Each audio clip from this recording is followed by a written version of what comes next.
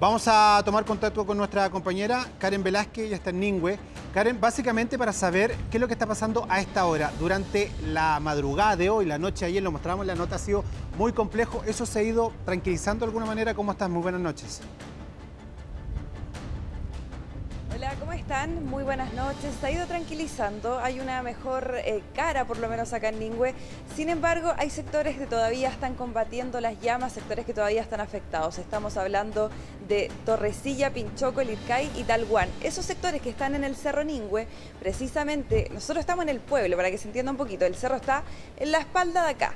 Todo ese sector hacia el fondo está siendo afectado en este minuto y se dio la alerta de evacuación a eso de las 5 de la tarde para que la gente pudiese bajar porque el combate la verdad que se está haciendo muy difícil también para los equipos que están desplegados. Hay aeronaves, de hecho durante la mañana estuvo Tentanker también acá en el sector de Casablanca haciendo varias descargas para poder controlar la situación. Pero el viento no ayuda para nada, no es favorable y tampoco las altas temperaturas que hemos sentido sobre los 32 grados acá en Ningüe. Entonces eso, la suma de factores, Alfonso, la verdad que es bastante complejo para poder combatir las llamas y es lo que ha dificultado también el trabajo.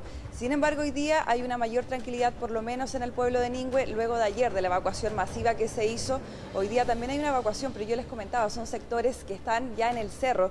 De hecho, fuimos a hacer un recorrido hace unos minutos y encontramos gente que también estaba bajando con sus caballos, eh, con su, digamos, sus mascotas en general, porque es lo primero que se piensan salvar. Acá esa es la prioridad para la gente, sobre todo cuando viven de la agricultura. La verdad que es súper complejo eh, la situación para ellos porque muchos incluso ni siquiera tienen vehículo para poder bajar y por eso también el municipio eh, pidió a carabineros que dispusieran de vehículos que subieran a buscar a esta gente que estaba literalmente aislada en medio de las llamas y que no tenía otra opción. En eso se, se está trabajando en este minuto, pero sin embargo está complejo porque ni siquiera se ha podido hacer un catastro de las viviendas afectadas por el incendio de ayer. Todo el sector del cerro tiene viviendas, eso sí, no es como una ciudad, digamos que está una casa al lado de la otra, sino que son más bien alejadas eh, pero es bastante compleja la situación. Sin embargo, ha llegado ayuda también y dentro de esa ayuda estuvo Pailita, el cantante urbano, acá visitando Ningüe junto a su equipo para hacer donaciones, donaciones de dinero y también ayuda a bomberos, además de víveres para los damnificados de la zona.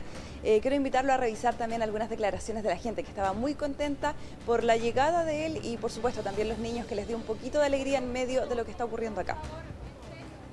Eh, no, bien, pues un apoyo para Ningüe, para la comuna, a pesar de todo lo que estamos pasando. O sea que han sido hartos días de combate en el incendio, pero bacán, reanima al pueblo y a los niños más que nada, porque ellos son los más felices ahora. Pues. Estaba un poquito con vergüenza, pero no, impecable. O sea, que se venga un poco a, visibilizar el tema de los incendios. Ah, un sueño, tenía muchas ganas de conocerlo. ¿Y vino a ayudar también a los Sí, sí, eso es muy bueno y muy generoso de su parte. Sí, una buena noticia en medio de la tragedia, pero por supuesto hay que estar alerta y por eso también están las autoridades acá desplegadas para ir monitoreando minuto a minuto lo que está ocurriendo con el fuego en el cerro, por supuesto acá en la comuna de Ningüe. Alfonso.